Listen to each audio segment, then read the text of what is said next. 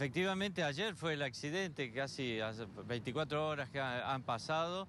Nosotros eh, estuvimos en el lugar y, pudimos recoger las imágenes de t- semejante accidente, un choque frontal entre un auto que volvía de San Juan hacia Mendoza y eh, un camión que iba vacío, pero un camión de gran porte. Bueno, el impacto fue tremendo, quedó eh, eh, incrustado entre los, eh, los hierros. Realmente trabajó mucho la gente de bomberos y la gente de criminalística para trabajar en el lugar, para rescatar los cuerpos.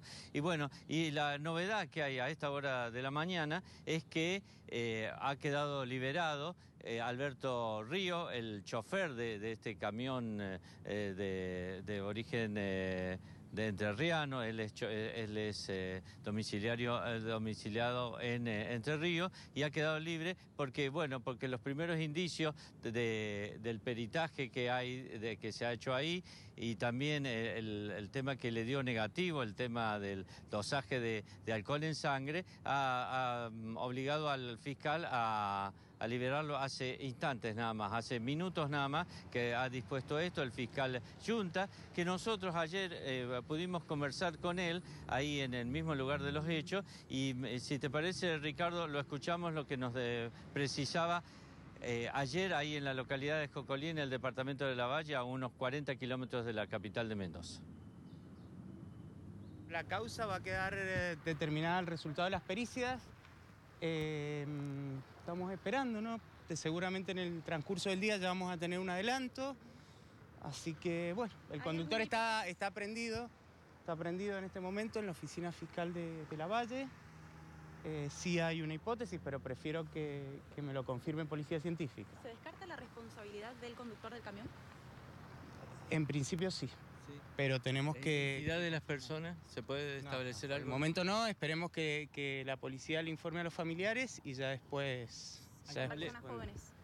¿Hay son personas- El conductor no tiene el camión, las otras personas surgirá de la necropsia. ¿Son mendocinos? ¿Está confirmado eso? Son mendocinos. ¿Se sabe de dónde venían, hacia dónde iban? No, por el momento no. No porque tampoco tenemos testigos. ¿Murieron todos eh, eh, en el lugar del hecho por el golpe, el Sí, impacto? Fallecieron todos, fallecieron todos inmediatamente. ¿Del camión se pudo determinar si estaba alcoholizado o estaba...? No, no estaba alcoholizado. No tiene alcoholizado. ¿La edad del conductor? La verdad no, no tengo los datos personales de ellos. No, no tiene lesiones, ¿cierto? No, no.